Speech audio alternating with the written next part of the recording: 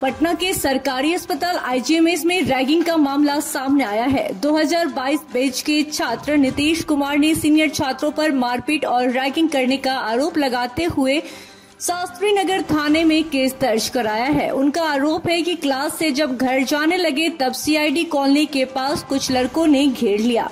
कहा कि मेरे बॉस यानी हिमांशु से भिड़े हो, उनसे पंगा लिए हो। इसी बीच भीड़ जमा हो गई और सभी लड़के फरार हो गए। नीतीश के लिखित बयान पर हिमांशु और मयंक श्रीवास्तव के खिलाफ केस दर्ज कर लिया गया है। पुलिस मामले की छानबीन करने में जुटी है। नीतीश के साथ विवाद के बाद आईजीएमएस के करीब 50 छात्र आईजीएमएस के पास स्थित उसके भाई की दुकान को खोजते हुए पहुँच गए।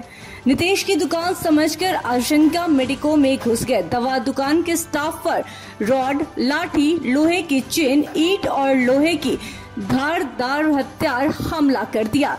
इस बाबत दवा दुकान दार राजेश कुमार सिंह ने भी आईजीएमएस के 50 अज्ञात छात्रों पर केस दर्ज कराया है। हालाँकि राजेश कुमार ने कहा कि वो इस केस में समझौता कर लेंगे। वो लोग किसी दूसरे को खोजने के लिए आए थे। इसी बीच आपको बता दें कि आईजीएमएस के medical superintendent doctor Manish Mandal के अनुसार यह मामला रैगिंग का नहीं है, मामला कुछ और है।